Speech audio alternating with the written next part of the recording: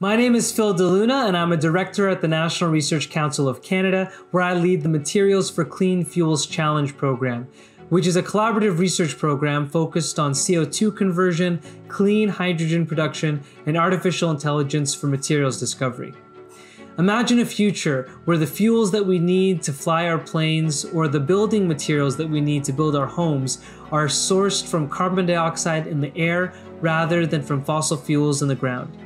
I study artificial photosynthesis, which looks at converting carbon dioxide, renewable electricity, and water into the fuels and chemicals that we need to sustain our quality of life. I'm most inspired by solving big problems and there is no bigger problem that we face than climate change. Young people will disproportionately be impacted by the effects of climate change as time goes on, and so I'm motivated to find solutions for not only ourselves, but for the generations to come.